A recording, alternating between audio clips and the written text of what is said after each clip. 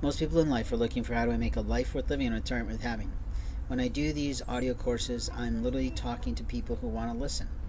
People who want to listen are good people because they know that the power of sales is in listening.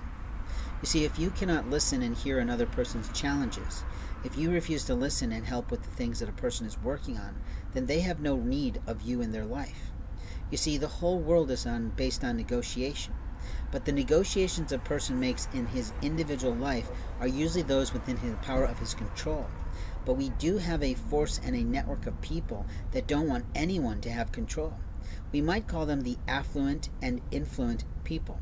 We could also call them people who are abusers of power. But what we know about men in their middle age and women who are a little bit matronly is that they think they have rights to violate the rights of other people.